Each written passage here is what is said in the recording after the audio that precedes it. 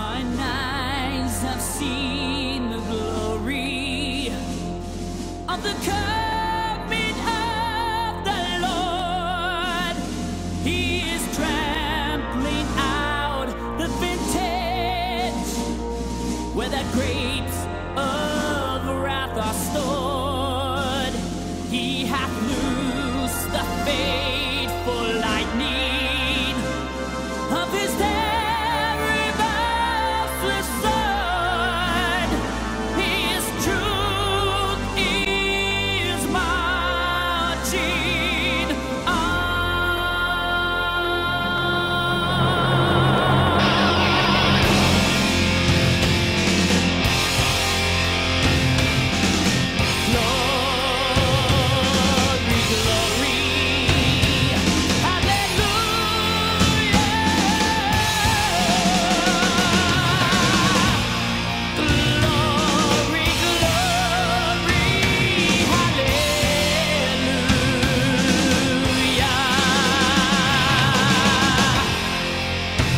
glory, glory.